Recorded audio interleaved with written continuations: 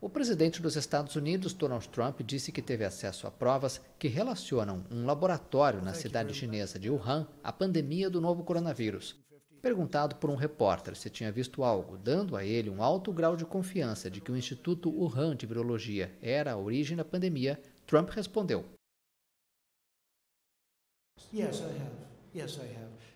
Sim, eu vi. Eu acho que a Organização Mundial da Saúde deveria ter vergonha de si mesma, porque é como uma agência de relações públicas da China. O republicano disse que as agências americanas estavam investigando como o vírus surgiu pela primeira vez e o que a China havia feito para impedir que o vírus se espalhasse pelo resto do mundo.